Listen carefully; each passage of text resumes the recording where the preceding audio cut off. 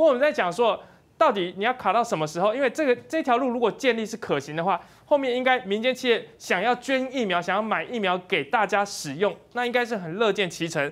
可是罗秉成昨天也宣布了一件事情，就是说现阶段不会再开启新的专案了。所以慈济真的现在看起来是成为绝响了，就是因为今天完成了疫苗采购合约，搭上末班车。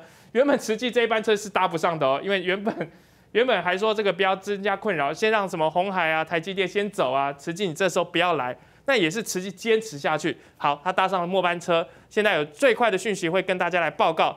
但是呢，大家觉得很奇怪，那罗秉成你干嘛？就是说觉得说采买够了吗？年底预期会有相当剂量的疫苗底台，其他民间想要采购疫苗，政府总体评估下，现阶段没有开启新专案的必要性，没有必要性了。啊，我真的不懂。徐旭东今天跳出来说，其实最早是他要买啊，年初的时候就要买疫苗，可是是政府说不行，所以他就没有执行下去了，他很生气。那郭正亮说，因为你民间的一直买一直买，加上现在还有什么八大工专团体要跟地方蓝营的县市首长要买，太有压力了，后有追兵，所以行政院喊停了，然后告诉你说明后年我再加购什么一千五百万剂莫德纳，我不知道兵哥你怎么看？哎，现在前面你要挡挡挡挡。挡完了，好了，你路打开了之后，你又再把它关起来，然后说剩慈济了，慈济之前也是挡，那后面你是真的还在想这些政治操作啊？哎呀，我我必须说，不管是民进党还是民进党的支持者，你们要去批评别人，或者是想要揽功、想要抢功，你们至少先回去把剧本顺一顺，想一想，看你们说的东西对不对。刚刚黄月虽老师说那个刘幼彤穿牛仔裤进总统府不礼貌，我给大家看一张图哦，这个人是谁？大家知不知道？大家大家仔细看一下这个人是谁？哎，镜头带近一点看。对，哎，唐凤啊。对，啊，唐凤穿这样进总统府，不管他算是穿的男装还是女装，我搞不清楚。请问一下，这样很庄重吗？是，这是什么男士的大礼服还是女士的大礼服？他不是一样随便穿穿？那为什么唐凤穿这样进去的时候，黄一水老师一点感觉都没有？那为什么刘若彤穿个牛仔裤进去，就觉得他这样对？总统不尊重，而且说是仗势欺人，仗什么事啊？我觉得你你黄岳衰才仗势欺人吧，不是吗？就仗着有民进党给你靠，你们现在什么胡说八道都敢讲，仗势欺人都来了。老蒋蔡英文是人民选出来的总统啊，刘幼彤是什么？刘幼彤是一个基金会的一个工作人员，我记得他抬头好像执行长。嗯，那他这样穿这样进去，需要法律有规定吗？他一定要穿什么衣服进去吗？所以莫名其妙，在你们是找不到理由能够挑别人毛病，就找这种理由这样。那请问一下黄玉生老师，我现在麻烦你立刻对唐凤穿这种衣服进去发表你的感想，还是你觉得唐凤去就好棒棒？唐凤这样就是尊重总统，我们每一个人都要跟唐凤一样披头散发，然后穿着这样奇奇怪怪的衣服进去，这样才对总统表示尊重，是这样的意思吗？如果黄玉生老师你敢这样说？那以后大家都按照这样办，好不好？你自己也打扮成那样，好不好？胡说八道嘛！这些人从头到尾，我我真的觉得，不管一个人过去多么受人尊敬，他过去做了哪一些事情，不要因为现在一时的利欲熏心，不要因为一时的仇恨心，把自己整个一生的心欲都毁。黄医生老师前两天才讲一句话，人家说他那个什么脊椎痛啊，干嘛？结果他说这个比受共产党折磨好多了，好像讲了一部他参加过 文革还是什么？我真的觉得你要掰也要掰的有点谱嘛。你你去参加过文革，还是你被共产党抓去过？要不然你讲这干什么呢？要哗众取宠，要胡说八道，不要找这一种让人家一听就知道你在搞笑了，好不好？还是你是跟林伟峰一样故意在反串？那我就不知道。如果是你的话，那就请恕我支持于鲁。我搞不懂老师反串的功力啊，这个我就不懂了。那。你看罗秉成，还有这些人，他们为什么要出来讲说啊？现在目前疫苗量应该已经够了，你来太多啊，我们也打不完，这样会浪费啊。讲的好佛心哦，浪费不太好。你你政府现在可不可以把你买的全部弄进来，让我们浪费一下，可不可以？你让让我们浪费一下？哎，你要知道，第一个罗秉成你根本没资格发言，为什么？因为那是民间捐赠，哎，这不是你政府出钱买的。人家喜欢买多少，干你屁事啊？为什么不能买？你告诉我什么理由？不要告诉我说什么打不完。我请教你一下，你们自己买的疫苗买了一千万剂 A Z，请问一下现在来了几剂？啊？现在连一百万剂都买不到。如果真的打不完，今天不会在什么预约平台上，只是点这个意愿就已经抢爆了。你自己心里头都很清楚，现在疫苗最大的问题，就是因为国际大家都在抢疫苗，因为疫情不断在爆发。你自己不是之前一直在靠腰说什么不是政府无能，而是世界紧市场紧绷，所以出货比较慢了。那你也知道出货比较慢，出货比较慢的时候，要让出货迅速，只有一种办法，叫什么办法？你知不知道？叫多买嘛。我把所有的管道都买遍了，这个管道居然被卡住了，另外一个管道不就进来了？不就这样子而已吗？所以连这个基本常识你都没有吗？难道郭董跟他订一千万，九月底来就一千万全部来了？我是希望这样啊。老讲，就算一千万来，你相不相信台湾打得完？我跟你打赌，台湾打得完，你要不要信？因为反正你现在政府是一个要饭也不带碗的嘛，连冷链设备都要别人出嘛，对不对？所以呢，这一切事情都不劳您操心啊。你政府只要在那边当官老爷，在那边指挥就好了。我跟你讲，这些人呢，真是不要脸到家，不要脸到一个极致，才能讲出这么恶心的话来。然后讲徐旭东董事长，我真的是觉得，你如果你要坚持去买，那今天缩嘴的不就是你了吗？他说他当乖宝宝，政府叫不要买，你自己选择被人家摸头当乖宝宝，这时候干嘛出来讲？这时候出来讲是给老苦，你知不知道？人都吃了这么多饭，活了这么大岁数了，你吃的盐可能比我走吃的米还多。拜托，不要做这种让人家闹苦的事情，很丢脸。那其实我说真的很丢脸。他再来呢，罗秉成快赶快，蔡英文也宣布哦，说明年要买一千万五一千五百万莫德纳，后年要再追加一千五百万莫德纳，我们要买次世代疫苗，讲的好棒棒。嗯，你知道那什么意思吗？那什么意思啊？那意思就是说，够了够了，你们不要再买了。就这个意思，就我我我会买了，我会买了，你们都不要动了，你们不要再打乱我的计划，你们再这样买下去，我怎么办？他意思就是这样子而已。而且我说真的，你要编谎言编的大一点嘛，一千五百万一年呢，一年才一千五百万，台湾到底有多少人啊？你知不知道现在辉瑞跟莫德纳很多很多的研究是不是要打第三剂？对，没错。那你一千五百万，请请问一下够干嘛？还是？你买完你追加那一千五百万莫德纳之后，然后明年我们大家全部等高端的营养，你的意思是这样吗？是这个意思吗？这个疫苗可能每年都要打，以后，那请问一下怎么办？所以这个政府他的目的其实只是随便跟你说一个数字，而且故意说的不多，他们比较容易达成，然后到时候要推也可以推，然后呢，目的用这种方式。能够去搪塞你们，让你们这些国民党的县市啊、工商企业界不要再买了，不要再让我为难了。有人会很不高兴啊，谁不高兴？蔡英文不高兴啊，陈时中不高兴啊，苏贞昌不高兴啊，不就是吗？有人从头到尾都是他们啊，所以就是这样子吧。这个政府用这种东西，完全没有把台湾人的人命当一回事。我老实讲，我真的拜托，静平、志志强兄。你们国民党真的要争气一点，帮我们拿回政权来吧！你不拿回政权来，怎么样把这些王八蛋抓起来啊？拜托你们要加油！是，刚才刚才既然兵哥已经 Q 到静平议员了，那我们先问一下静平议员。好，在问晋明议员之前，我还是要催一下主屏的各位观众好朋友们，赶快到子屏来，而且到子屏来，记得帮我多发问。你说你想要知道什么样的议题，或者你想讨论什么样的重点，我都会在子屏的这个留言区来看一下。不过我要问一下金平议员，我们刚才前面在讨论啊，就是。当然，后面你说把这个关卡已经卡住了，就是说后面不准再来。可是因为光前面进的这一批到现在还没到台湾哦，光说已经签完约，你看这两天 BNT 变成一个照妖镜，就原本民进党全力在党的人就开始有人说小英全赢了，这次是政府胜利，这是政府功劳。有人是这样子的，有人说，哎，看吧，就是证明中共在 阻挠。这我也不知道他怎么样得政的。反正总而言之，我觉得看起来像一个照妖镜，因为让民进党一下子。你过去讲的这些话，我要怎么圆回来？然后变成大家各自各自的方向不一样，各自矛盾，但是就是要把自己好像过去党的那一个力道啊，或党的那一些做法，赶快又把它圆回来的感觉。所以他们现在在造神啊，对不对？你看这个民进党的名嘴、立委，还有这些一四五零的网军，然后拼命的去讲说，现在他们多神啊，像这个活菩萨一样啊，能够这样子开放，然后让这个疫苗能够就算。还要等八到十周，可能九月甚至十月以后才能够拿到这一批 BNT，所以这两天这个大新闻，让民进党上下欣喜若狂，觉得是神一样。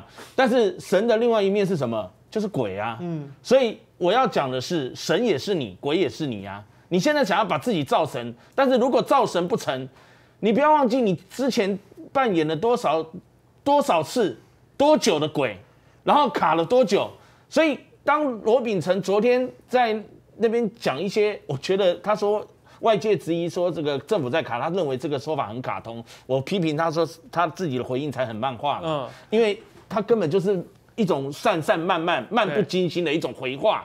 那而且就像漫画里面看的，讲的都是屁话。那你说政府没有在卡？而且他讲出来说，你看那个这个过程，如果我们要真的要卡的话，需要一点文件呐，你的文件背不齐啊，或怎么样？描述他们的作案手法的感觉，不是被宅神朱学仁酸说，哎，怎么似曾相识？似曾相识什么意思？就是说你这些作案手法，感觉好像你之前都被陈时中用过啦，都被你指挥中心庄仁祥用过啦，都被你这个政府行政院给用过啦，所以你讲了起来头头是道啊。所以为什么你你之前扮演了那么久的鬼？那接下来想要在鬼的这个外表上面再披上一件神的菩萨的衣服神衣，我觉得那个是真的完全不像的，因为你一手想要扮好人，一手想要扮坏人，但是你的坏人扮演太久了，你反派扮演太久，很难扭转人们人民对你的一种形象。所以其实刚刚兵哥在幕后 Q 我和那个志强哥议员说希望我们能够加油，我我心里真的有感而发，很感慨。当然，国民党一定要加油，站在人民的这个立方这个角度和立场，跟民众党一样，跟国民党一样，都是在在野党，都是在监督这个民进党。但是民进党掌握了所有绿媒的资源，跟一四五零的这个网金，然后再加上国家机器的动员，你光是看这个当这个上个礼拜志强哥 他去声援那个科批，他并不我在上很多节目时候我也在讲说，不是因为他声援科批这个人的整个作风或怎么样，而是那件事情他被所有的这个资源国家机器打压。他做你要说他做这个科比的侧翼，他是什么人的侧翼都做，他就像每一个人的影子一样，投射出我们国民党在质询这件事情，或者是质疑这件事情，然后提出更多的这个论述跟说法的时候，然后他们用什么样的一个状况，完全穷极这个恶鬼的这个嘴脸，去面对在野党的监督，以及面对民众。在那边好好像很好骗一样，所以，我我觉得在这一次的事情呢，民进党始终如一坚持说他们好像站在很神圣的一面，很坚持，没没有关系，我送他三点五十个字：第一，坚持；第二，不要脸；第三，坚持不要脸。这就是民进党的这样的一个整个写照。所以，我认为说，你今天不管今天谢志伟跳出来说什么，罗秉成跳出来又讲什么，哈。讲了这个公股一波，整个一一落一大落，然后告诉民众说，然后还还甚至有空去做这些所谓的网络的 Q&A 啊。我认为那个叫伪解答，不是真的完整的 Q&A。伪解答就是只讲到一点点，其他细的不敢再讲下去了。比如说他在讲那个当时呃为什么要紧急授权 EUA，就是要政府授权。可是光是这个紧急授权，我们都知道陈时中讲了多少遍，讲了很多遍，就是不会给你，不会随便给你。可是偏偏在六月十八号出现了一个转折。六月十八号，当蔡英文总统见了郭台铭，见了这些这个刘德英这些台积电跟红海的这个老板大佬之后。决定放行，陈时中的态度就批评了。六月一号到六月十八号这半个多月你们在干嘛？你这半个多月不是卡吗？你这半个多月是不是卡？难道是罗秉成说的卡通吗？所以你这些人在阳奉阴违嘛？你们这些人不是在扯蔡英文后腿吗？如果你们要把蔡英文跟陈时中造神的话，那你根本不是在把这个蔡英文好像他讲的话令不出总统府吗？这是一个。还有你说。罗秉成说从来没有在卡，就是希望帮助民众、民间安全有效，怎么样？怎么样？讲一大堆，哦，都是神话他们的一个正当性。但是从六月一号、六月初，人家红海跟台积电，台积电说后来冒出来了，虽然有很多的阴谋论，总统府这个这边中间把它拉出来，想要稀释这个红海的角色。但是不管 怎么样。这一些护国神山，还有这个我们台湾干半导体科技的这个大佬，这个大企业，想要帮助台湾人做这样的一个这个举动，从六月一号就开始，到七月十一号、七月十二、七月十三，一个半月的时间，你说你用八天，好就快速的批准，那过去一个半月你们在睡觉吗？还是躲起来等着这个偷偷去打这个，不管是 A D 还是莫德纳疫苗？所以政府不要再讲这些瞎话，让人民听不下去。也难怪财神，我昨天也看到他在消遣他们说。啊，以后你要收割的时候，不要那么露骨的开直播，好不好？他们做不到的啦，他们做什么事情都要用这种方式去直播，显现出他们的一个大内宣或者是大外宣，不管是甚至在透过外国的这个媒体去吹捧他们，然后在内销出口转内销，同样的修理在野党、修理民众、骂百姓，也都是用这样的方式啊。刚刚斌哥讲说，冷链都要靠人家。我跟大家爆料了，不是冷链高人家，那个是要他们指定的厂商。哦，这样子政府跟厂商官员里面他们才可以上下其手啊，这都是里面包藏的这个利益了。不管是今天的之前在讲的说他们要靠哪一家，我听到包括有什么大昌华家，还有现在的玉立啊，然后之前好不是国民党，他们党这个国民党找了四个县市的一个盛虹吗？这从这中间都有所谓的代理商，是。因为里面的人都有跟我讲，代理商就所谓的冷链跟仓储的利益，一剂疫苗三十块美金。那包含这个冷链还有仓储什么，你可以拉到，哎，那个光是标签又要差三块美金，然后如果加上仓储、运输、冷链的设备，又是一到三块钱，这些都加在里面。虽然这些钱谁出？郭台铭还有刘德英两大企业龙头去出，但是你想想看，差价一算一一算价一来一往，一亿美金到三亿美金，哇，进了谁的口袋？嗯，要不要查？你去查这个这些不是那些大企业大老板，对这些大企业大老板，他们只能摸摸鼻子无奈。对，他们是商人，还要看政府脸色，还要去仰视政府官员。但是政府官员呢，你敢不敢说你没有在这些企业的供应链当中，还有包括冷链仓储的这些角色，你敢说你没有中饱私囊吗？你敢说你没有利益输送吗？从一开始，刚刚我一听进来听到所谓的东阳林权去谈这个事情的时候。被什么打败？就是雅各城打败嘛，雅各城跟玉立啦。那最后呢，中中途当然冒出了我刚刚讲的那个大昌华家的公司，可是呢，玉立还在那个角色当中，所以我才说，政府在同意几个关键的厂商作为代理商的同时，包括冷链运输的这个仓储设备，它的子厂指定的这个厂商，然后它的中间的关系的这个输送，你们到底分配了多少？你们拿了多少张？虽然那些企业愿意自己当冤大头去花的钱。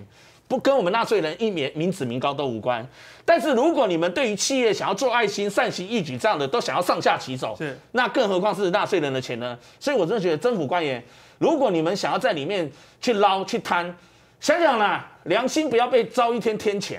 是啊，这个我必须要讲哦。刚刚在讲的过程当中，其实我注意到罗秉成讲了这一番话，就是说这个疫苗如果进来太多要报废，那很可惜。先不讲说这个话是不是真的，我们现在说多大会报废，这边有提出来，南韩跟以色列的疫苗互换，之前我们有讲了嘛，就是以色列有一个集齐疫苗，可能七月底要到期了，很快很快的速度，他跟南韩签了约，然后两天四十八小时之内换给南韩，南换给南韩后面可能九月要到的，但是我今天要讲的还不只是这个，人家以色列，你政府一天到晚在讲超前部署，人家以色列超前部署到二点零了，今天最新的消息来讲给大家听。七月十二号，辉瑞的 CEO 跟以色列的总理通电签字。七月十二号签字，八月一号到期就到就到以色列的 BNT 啊？为什么人家那个超前这么快呢？因为他跟他国家的战略有关系。他过去当然大家都知道说花了两三倍钱去买 BNT，但是后来他们建立合作模式。现在他们要谈的是什么？就是所谓的第三季，就是说 BNT 现在说他推跟以色列推出了一个共同的报告，说。因为现在 Delta 病毒，如果你要打到呃第二季而已的话，虽然有九十三的保护力，可是阻止感染的防御效果只有百分之六十四。所以现在以色列可能要独步全球，它要先开放打第三季，然后跟 BNT 做实验。另外还有一个很重要的讯息是，十二岁以下的小朋友现在开始以色列也要严你要打 BNT 疫苗，这就是跟所谓的厂商跟那个政府来做合作，所以 BNT 才愿意。这个签约不到一个月的时间就送货到以色列，这才叫做超前部署。我先请斌哥来补充一下，这个状况就是证明，那我们政府一天到晚嘴巴喊超前部署，人家第一次示范给你看，花三倍钱去抢疫苗，现在第二次是跟厂商做合作，那我们在等什么？听说就为了这个复必泰这三个字，本来有现货的，现在今天赵少康说的要多三个月改标签。其实以色列他自己在生技方面的研发能力相对没有那么强。所以呢，他他选择的方式非常简单，那我就跟你合作，我用比较多的钱没关系，我用两倍的钱、三倍的钱，我至少先买足我自己足够的量。当我的数量足够了，甚至更多的时候，这时候我有选择权了，我可以选择哪一个对我比较好，哪一个对我比较不好。你看世界所有的先进国家几乎都是这样做，他们现在因为我的疫苗数量够多了，那有一些可能真的迟滞啊，没有那么多人要打，我想办法去跟人家换。他本来要跟巴勒斯坦换，对，后来巴勒斯坦不愿意跟他换，因为双方世仇嘛。后来他就去跟南韩换，哎，这样成果也很丰硕啊，各取所需。是，人家现在进一步走在世界的尖端去研究，甚至十二岁以下的人，那甚至研究第三季的施打。那这表示什么？政府为了保障人民的健康，他不择手段，而且很重要一点哦，他不怕被骂。嗯，因为我们都知道，民主国家有的时候，哎，你做这样的动作的时候，可能在野党就会批评他。那可是呢，民进党现在就把这个拿来当挡箭牌，说如果当初我们买那么多，如果我们当初买那么贵，你们这些在野党一定会出来靠腰。那我每次听到这种说法的时候，我就觉得很好笑。啊，民进党什么时候会怕过在野党？是啊，你他有怕过吗？国民党在那边讲什么，你还不是完全充耳不闻？骂的事情这么多，他们也不是是啊，雷打不动。从你上任到现在，国民党骂了一大堆东西，请问你哪一件事情鸟过他们？还不是一件也没鸟过他们。所以你不要告诉我说你怕被在野党骂，你不要讲笑话。然后讲民进党根本就不怕，民进党怕的只是自己 A 不到钱吧？民进党怕的只是你们自己不可告人的战略会公诸于世吧？不就是这样子而已吗？然后讲。当初我们跟 BNT 不是没有合作的机会，人家曾经教我们入股过，嗯，那甚至代工我们都有谈过，那就是你都不要做，到最后沦落到台湾现在跟个乞丐一样到处去要，那我就觉得现在很好笑。那个谁，罗秉成昨天才讲，蔡英文也讲，说明后年我们都有一千五百万剂莫德纳了，所以呢。而且其实老实讲，这只是预计哦，约也没有签预计要买啦，对，约也没有预计要买，我们念头有动起来。我跟你讲，这连那个什么都不算的 M O U 都不算的，那只是一张嘴而已。我坐在办公室里突然想起来我要买了。然后呢，他说现在各各县市其他东西就不会再专案处理了，因为太多了。那我请教你一件事情啊，不是十五号九十七万剂日本的 A E D 要来了吗？你怎么不去跟日本人讲说我们太多了不需要？哎，奇怪，日本人送我们就好棒棒。对啊，郭台铭送的是臭的，是吧？还是国民党的地方县长、这地县市政府送的是臭的？还是台湾其他工工商业大佬送的东西是臭的？不然的话，为什么日本送你就好棒棒？对啊，送的也不在原本的计划之内啊。他应该说不要啦，因为会打不完啊。我告诉你，原本的计划就是台湾根本没买够疫苗，因为要把所有的剩下份额全部提供给高端的营养。那现在很明显的哦。高端联雅看起来是遥遥无期，因为要达到一般公认的三期至少其中报告的标准，它还久的嘞。它最快最快也要半年到一年才有机会。那请问一下，你总共政府自己只只买了账面上哦，我老实讲，我现在严重怀疑你到底有没有真的买到，因为我们总共自己包括 COVAX 在内，我们自己买了这一千九百八十一万剂。嗯，那现在人家送来多少？美国两百万、两百五十万，日本两百两百多，加起来四百多万。然后如果再加上十五号那九十七万剂日本来的，大概就是五百多万，将近六百万剂。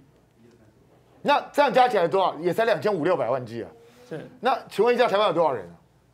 以现在这个病病毒的这样的严重的程度，你至少要打到两千万人左右啊。是啊。那你要打到两千万，是不是要四千万剂？那那你现在才两千多万，还差一千多万，请问去哪伸？继续伸手跟美国要，跟日本要？你的打算是这样吗？实际上，如果没有郭台铭那一千五百一千万剂，对，你根本无法解决燃眉之急。哎，就算郭台铭一千万进来，实际下有没有过来不知道。对，加起来也三千六百多万而已，所以还是不够哎，还是不够。所以就算再加上实际的五百万，都才能 just make 而已。嗯，哎，更重要的就是，我刚刚前面已经讲过了。现在大家都在研究是不是要打第三季？如果要打第三季，你是不是就全部出赛？哎，我们政府是有在报名那个全能省钱王，是不是？精打细算，谁能花最少钱达到不是最大的利益效果？如果我们政府真的是全能省钱王，就真的当了国际乞丐，把我们的预算全部都省下来，那也就算。是，问题是，他预算有节省吗？他要把是啊，没有啊，他也编这么多预算啊，他预算还是编啦，一样花啦，而且花到哪里去，花了多少钱，他不告诉你，是，这就厉害。你看我们这个乞丐多多厉害。这个乞丐又跟人家伸手要钱，连碗都不准备。然后呢，那你问他到底收了多少钱，他还不告诉你，一切都是秘密。奇怪了，郭台铭台积电去跟 BNT 签，人家数字都出来啊，人家签了多少钱都可以告知啊。为什么我们跟 AZ 签多少钱不能讲，跟莫德纳签多少钱不能讲？到底发生什么事情？民间企业都不需要保密，你政府要保什么密？你到底保保什么鬼？所以你你知道吗？昨天吴子嘉有爆料啊。甚至连假设打 BNT，万一出了什么事情，他那个红海每一季还要提拨五毛美金的，嗯，五毛美金的就是未来的这些医药啊相关的这些费用，是，这不是周玉蔻昨天还在讲说是政府负责啊，所以代表我们中华民国政府。占你个头！你直接算在里头了。是，也就是郭台铭他买了五百万的疫苗，他还要付两百五十万美金的后续相关处理费用。哎，我们政府连这个都不买单。然后呢，更可怕就是这个乞丐恶劣到什么地步，你知道？他转过头来还跟我们要三百多亿去买疫苗，所以这根本不是乞丐。我一直在强调，民进党其实不是真的乞丐。被他害的变成乞丐是台湾人民，台湾现在变成全世界最知名的国际乞丐。可是民进党并没有变成乞丐啊，民进党民进党现在还是一个不折不扣的国际诈骗集团，哎，真的到处骗，国内也骗，国外也骗，全世界都骗，然后再找一些莫名其妙的那些写手，从那个外出口转内销，不断在糊弄人，这就是民进党现在干的这种事情。所以真的，民进党从以前开始我就这样，但现在是更离谱了。从今天开始，我希望大家，民进党讲的话一个字都不要相信，因为这些人根本没人性，完完全全从头到尾就是只想骗人而已。好，谢谢斌哥。但是我要问一下志强议员，我刚才在念以色列这一篇报道的时候，我很感慨啊。七月十二号深夜跟人家签约，八月一号人家疫苗就会到了以色列，然后回过头来，我们昨天传出来的 BNT 花了这么这么长的时间，终于签好了，而不是之前讲说可能会有现货。我今天是听到赵少康讲说，呃，因为复必泰这三个字实在太毒了，不可以要换标签，所以来来回回要回原厂再换标签再过来，所以晚了会晚三个月。可是我知道之前你很关心的就是小朋友打疫苗的事情了，现在七月底这个就要指考了，然后呢九月要开学了，你这来来回回拖，你要拖到什么时候啊？首先啊，你看我们这政府哈，你看哦，所谓超前部署，疫情到现在一年半的时间。你去盘点他所有的疫苗政策里面，有一群人他是完全不管他死活的，就是青少年。你有没有发现，他疫苗采购的蓝图里面是完全没有为青少年买买任何一剂疫苗的规划的？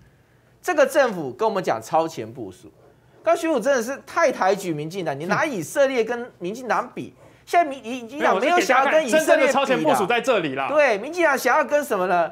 他想要跟那个我们第三世界的国家比啦，啊，也门呐，啊，索马利亚，为什么呢？我们台湾现在很棒，你知道吗？我们台湾的致死率是全世界第八名，第八名，其他十个前全世界前十名致死率最高的十个国家，除了台湾以外，所有的所得国民所得都在一万美元以下，台湾是三万两千美元。那你可以看到说，今天我们沦落到什么程度？然后我们的罗秉才跟大家讲说怕浪费，嗯，我跟大家，我马上脑袋想一个念头，我在路上我快饿死了，旁边有一个人走过去，他身上拿了好，他身上好多颗包子，我说我快饿死了，你会给我个包子吃？哦，不行，我怕你撑死。我说我怎么会撑死？他说你因为我明年跟后年加起来会买三千颗颗包子送你，我怕我现在给你包子。你会撑死，会浪费，现在不就这个样子吗？各各位很抱歉啊，鄙人在笑我，就是目前疫苗没有涵盖的人，我还没打疫苗，是我不知道什么时候会打到疫苗，我就是那个要馒头的人。在座我们的大概差不多都是这个状况。什么时候通知你不知道？对啊，我跟你讲，我也遥遥无期啊。那以我们现在致死率快要五趴，哎，真的中一下。我怎么知道我会不会就五那五趴人就见上帝了？我说这个这些无良的话哈，只有这些官员嘴巴说得出来。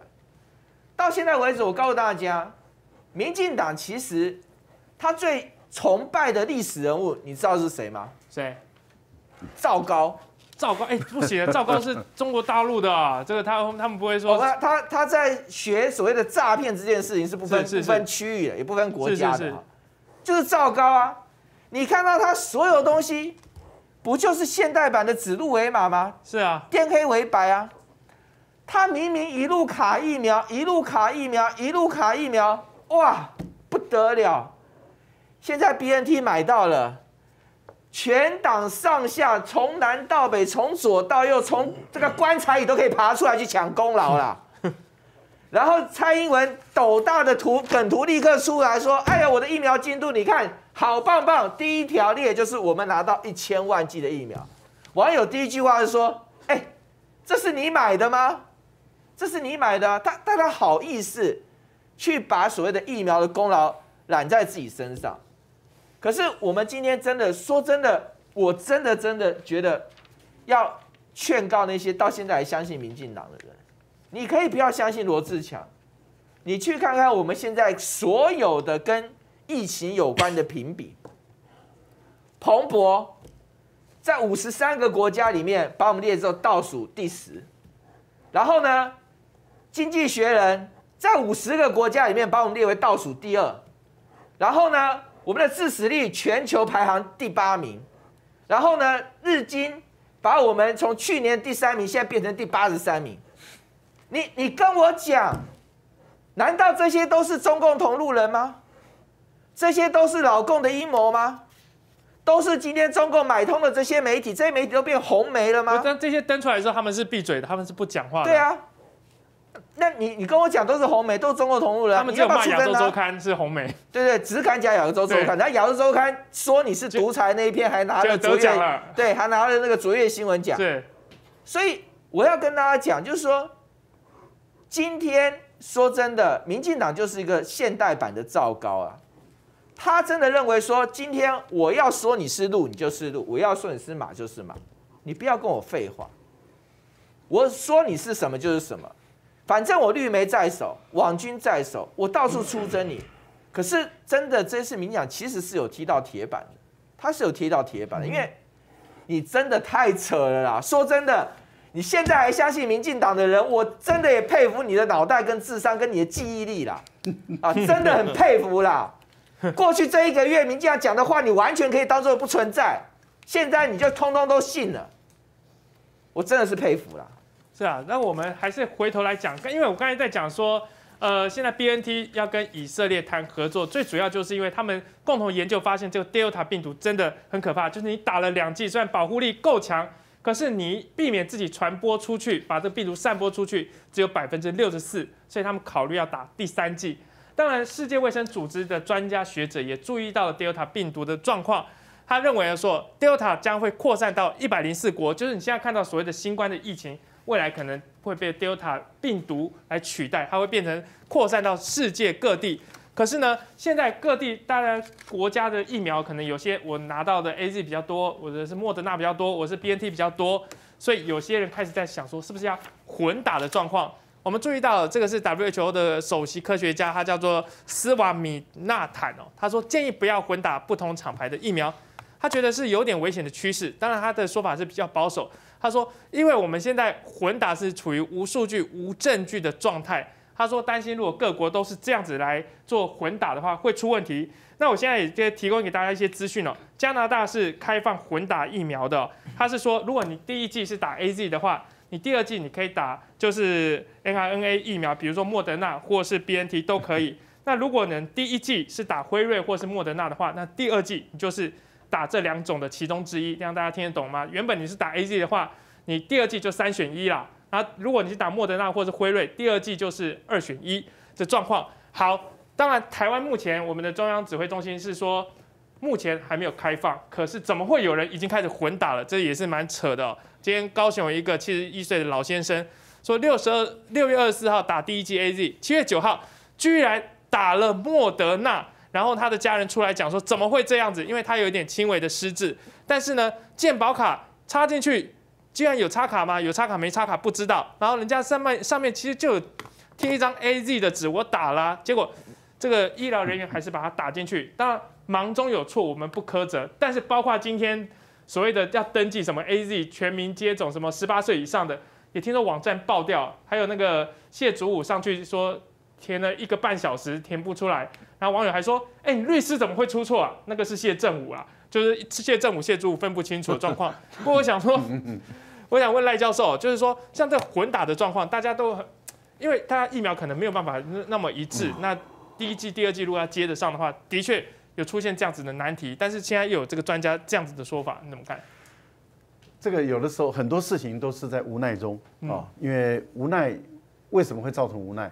就是因为我们看到病毒来的凶，然后疫苗跟不上，等到疫苗跟上的时候，疫苗的种类很多啊，大概分三类啊，例如说 mRNA、mRNA 是一类对不对？那就是辉瑞啊，像啊跟莫德纳纳，这是一类。然后第二类呢，就是那个蛋白测单位，对，哦，那这个就是 A G，还有大陆的科兴、国药等等。另外还有一类就是腺体的，哦，分为这样的一个三类。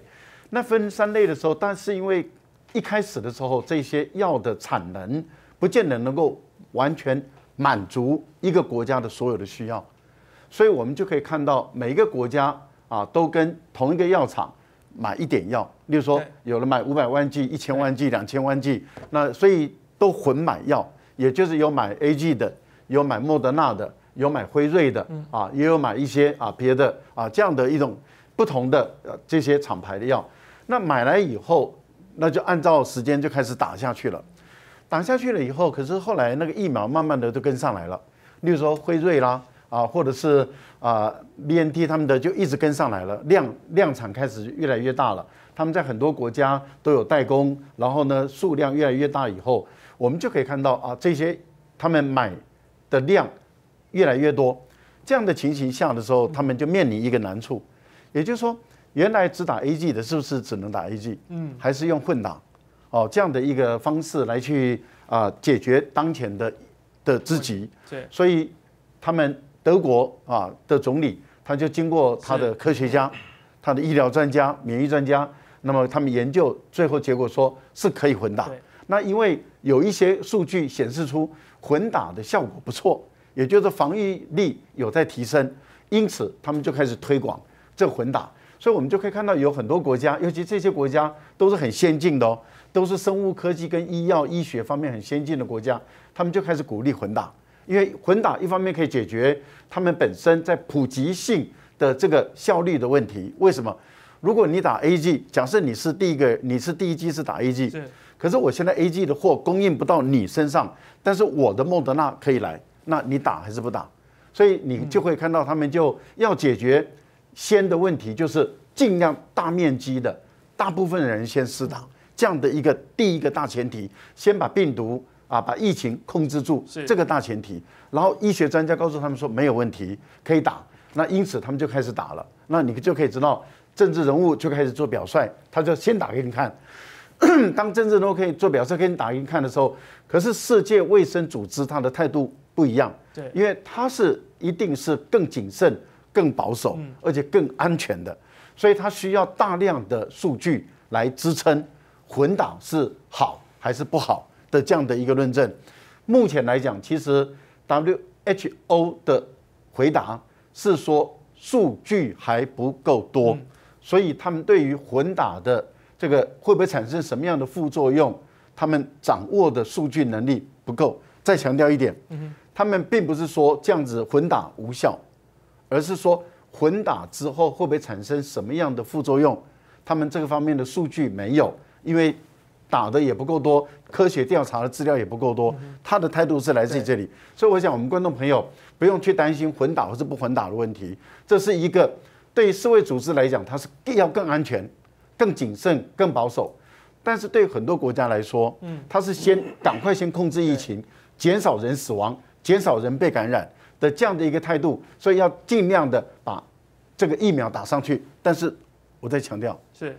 这一些国家都已经是疫苗供应上来的国家，是，就你是有疫苗可以选，你要不要混打？是，然后疫苗已经供应上来了，而以色列已经很明显的发现，因为以色列是全世界打两剂疫苗普及率最高的国家，全世界哦打两剂疫苗普及率最高国家之一，他都发现他打了两剂美国来的疫苗，但是对德尔塔病毒还不够，因为突破防线了，所以他们现在要追捕第三针，也就是说有很多人打了两剂之后还是被感染，所以他们现在要打第三针下去，那你就可以知道，对以色列来讲，对很多国家来说，如果他们第三针打下去了，以色列又控制住了，这个时候对很多国家就会产生激励作用，例如说美国、加拿大等就会开始跟进补第三针对。好，那在这个情形下，我们台湾就会更凸显出我们的疫苗不够的问题。